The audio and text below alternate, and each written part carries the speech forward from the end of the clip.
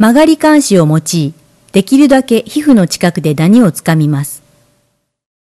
曲がり監視をひねらないようにして、一定の力で上方向に引き上げます。ひねるとダニの頭が体から外れ、皮膚に口の部分が残ってしまう可能性があります。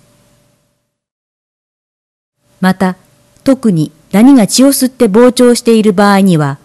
毒素の体内への流入を避けるため、ダニの体部を押しつぶさないようにしてください。ダニを取り除いた際、表皮に口の部分が残ってしまった場合は、先の細い摂氏で摘出を試みます。